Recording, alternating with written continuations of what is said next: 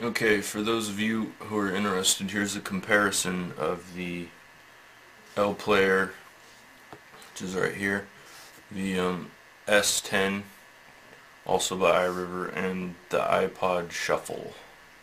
Just to give you an idea of a size, relative size comparison. So you can see that iRiver was quite obviously targeting the Shuffle demographic with this little player here.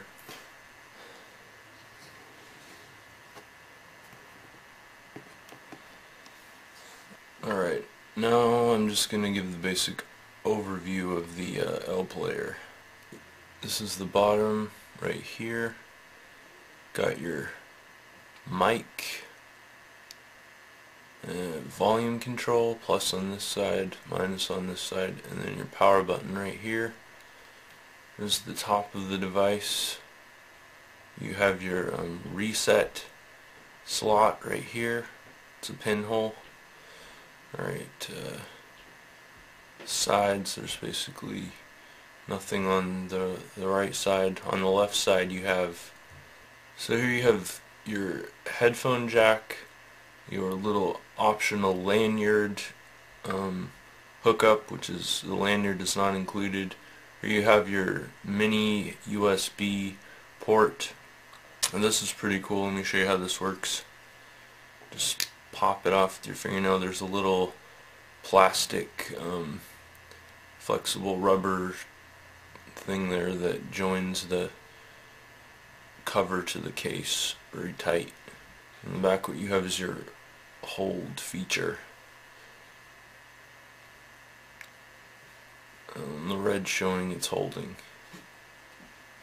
Alright, just uh, gonna turn it around a few times just to so that you can see the rest of the device sort of in its totality.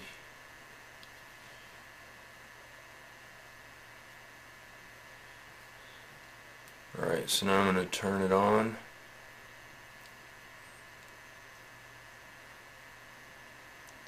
Got to hold down the button for about three seconds. It takes about I don't know, five or six seconds to fully boot up. There's your menu. This is uh, one of two menu uh, styles that you can use. This is my personal favorite.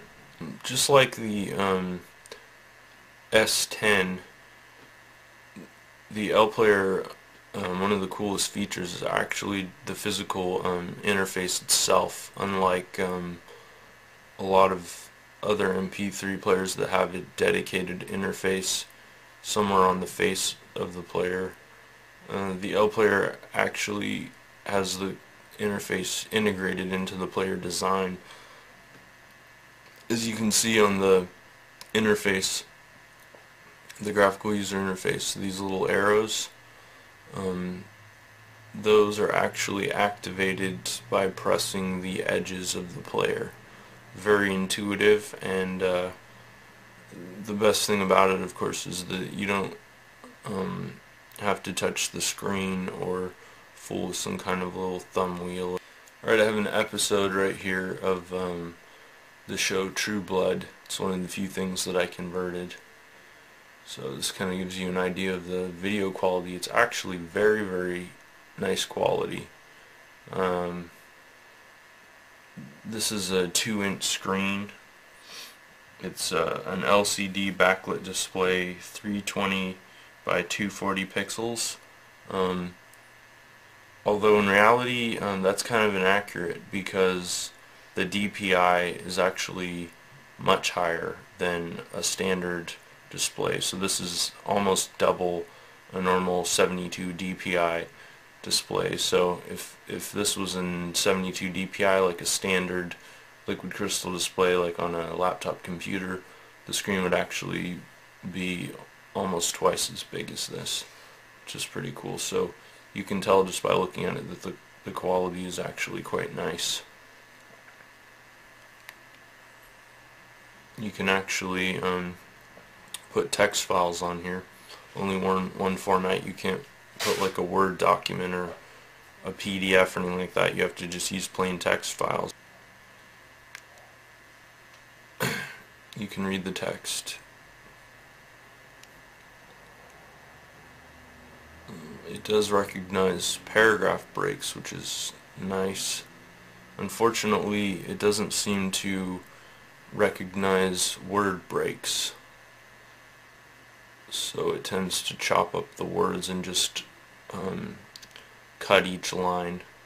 My favorite features of the, the image viewer is that when you hold down on the right button, brings up this sub menu that lets you um, rotate, zoom, delete files, or even get information. It's uh, quite comprehensive and very useful, especially if you're viewing images that have text or you know need to be rotated for some reason. Uh, the zoom is really cool. Once you zoom in, you can then use the rest of the buttons to pan and view all aspects of the image. Unfortunately, there's only one zoom level, and it's not um, it's not a one-to-one -one ratio. So right now, I'm not actually zoomed in 100%. It's more like 80%. Voice recording. it's pretty self-explanatory. Just hit record.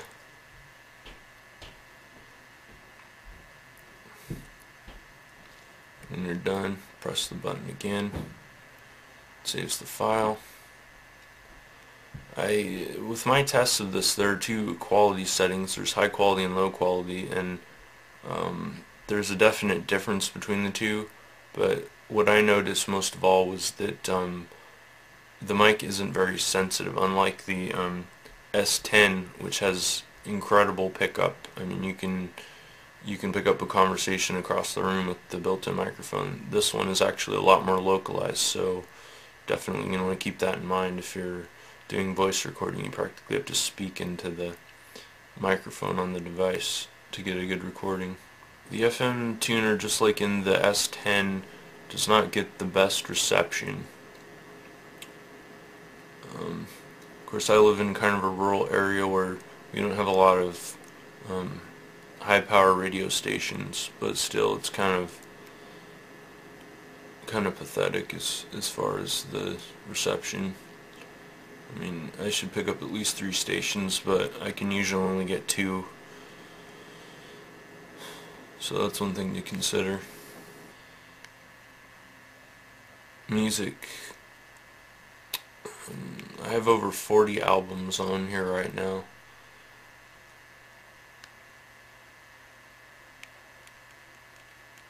the playing options are quite extensive. You can play within an album or play from the entire collection, set playlists, all of the above.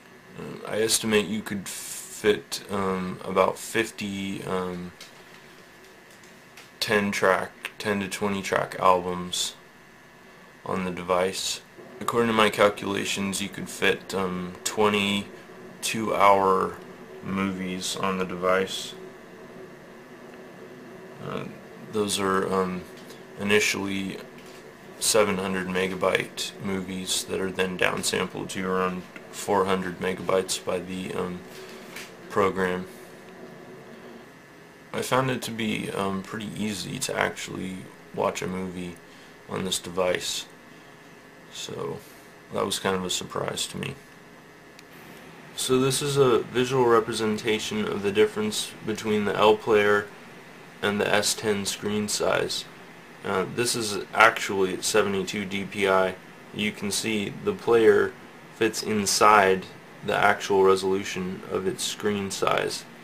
Um, while the S10 clearly is accurate. So you can see you're actually getting more than 72 dpi, in fact almost double the resolution, which translates translates very well when you're watching a movie on the device. Okay, battery life. That's obviously a huge concern with a device like this. Um, just as an experiment, I uh, have been testing it out and I was easily able to get um, 11 hours uh, continuous play of audio, so that's pretty good. As for video play, um, I watched uh, an approximately two hour movie without any real problems. It didn't uh, shut down. There was still, I'd say about 20% of the battery life left afterwards. So that's uh, pretty exceptional. This is the um, 8 gigabyte model. Costs about a hundred bucks. You can get it a little cheaper depending on where you buy it.